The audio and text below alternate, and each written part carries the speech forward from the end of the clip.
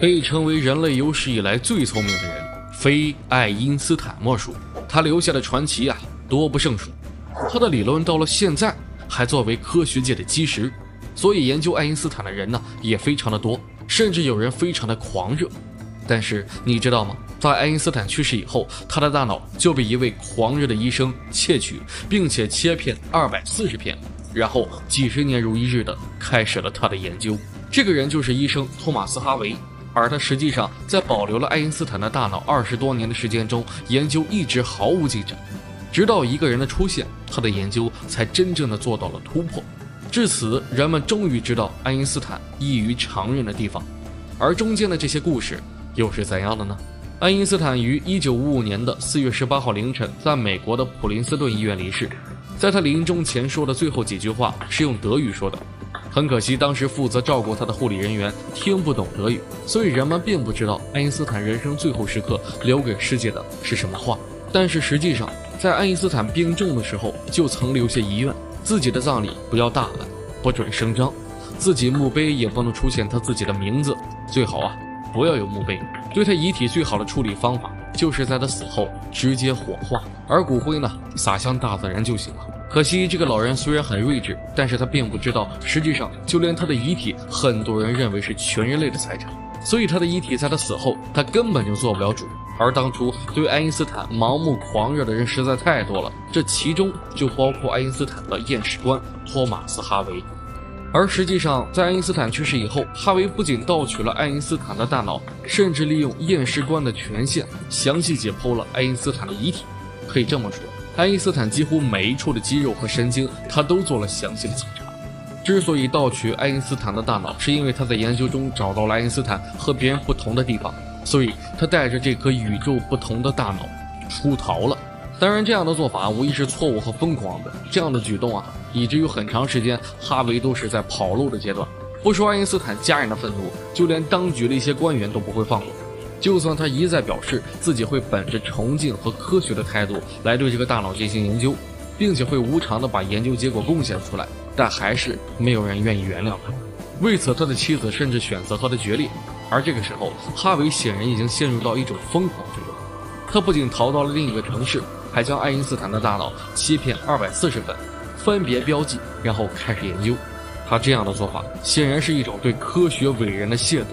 但是让人意想不到的是，他就这么消失了，并且一下子消失了二十多年。而在这些消失的时间里边，这位哈维医生甚至连一篇研究报告都没有发表。直到在一九七八年的时候，一位名叫史蒂芬·列维的记者翻起来这桩陈年旧案，开始寻找这位哈维医生。当然，经过一段坎坷的调查之后，史蒂芬最后成功的发现了哈维，而此时的哈维却只能在堪萨斯的一个小城市当一个街头门诊的医生，生活窘迫的让人不忍直视。但是就这样，哈维还是想要在史蒂芬的面前保守秘密。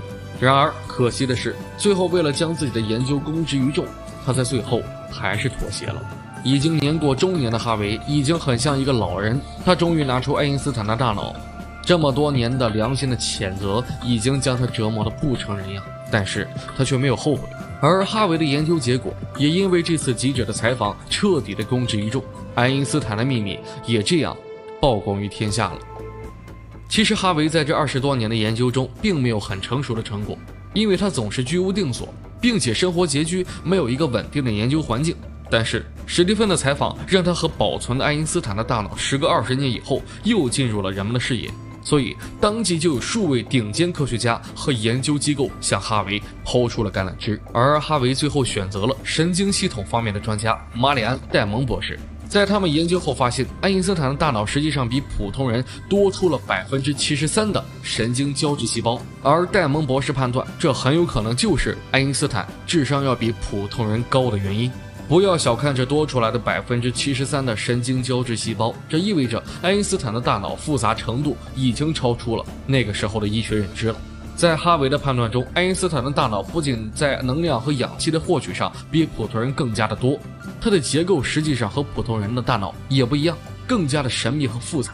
也就是那个时候没有变异的概念，否则哈维可能会形容这是一个变异的大脑。当然，就算到了现在，科学界也认为仅仅是普通人的大脑都是充满谜团的。更别说是爱因斯坦的大脑。要知道，人类的大脑光一个神经元的数量就达到了八百六十亿个左右。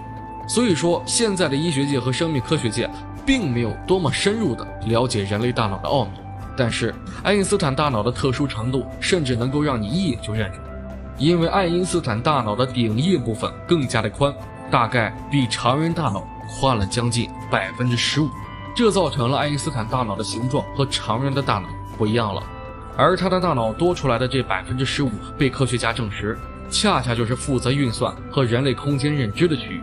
所以，这样的大脑结构让爱因斯坦比平常人更加容易的推算问题，思考物理学的顶尖知识。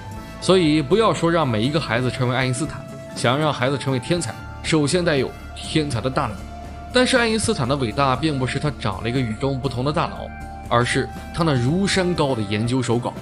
因为他把所有的休息的时间压缩到了极致，把自己人生大部分的时间都留给了科学研究。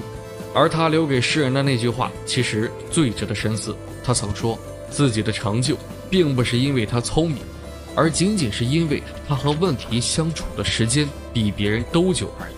而时间到了一九九八年的时候，爱因斯坦的大脑终于回到了普林斯顿医学中心，而现在的科学家也在对这个特殊的大脑在持续研究。虽然哈维已经研究得很透彻，但是并不代表人们不会发现新的东西。至于说什么爱因斯坦是外星人呢？这个观点实在是有点扯淡。人类的族群出现伟人，非得说什么和外星人挂钩？难道天才就不能是人类的吗？